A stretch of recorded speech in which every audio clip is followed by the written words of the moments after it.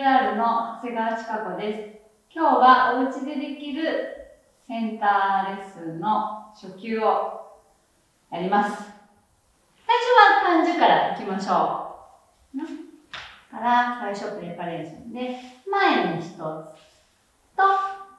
三、四、五、一番通ってゆりパドブレです。一、で、後ろ。1番通過して、次。で、パン。正面。1、2、3、4、横。2、3、4、1、2、3、4。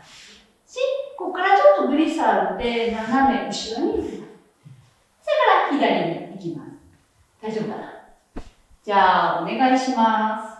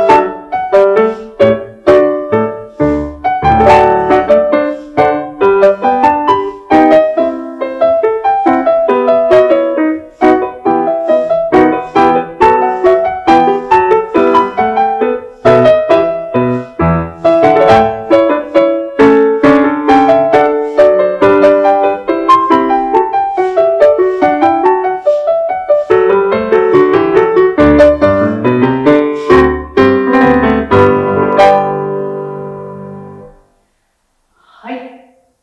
今の感じで、ここから1番通過して後ろにいた時に、足が横にはみ出しやすいので、ちゃんと自分のお尻の尾骨の真下にクロスして、ハンドブレのこの後ろの足、しっかりクロスして、ハンドブレして。で、後ろからの時も一緒です。1番通過したら離れないで、エパスなので、なるべくおへそのラインで、こうか。で、そのままクロスちゃんとしてから、ハンドブレで向きを変えれるように、ちょっと気をつけてください。横の時もこっちが落ちやすいので、脇をキープしていってあげてください。ここをちょっと気をつけるポイントです。はい。では、えー、アガージョかな行きましょう。最初は、プレパレーションで、クリアを使って右手から大きく、左手。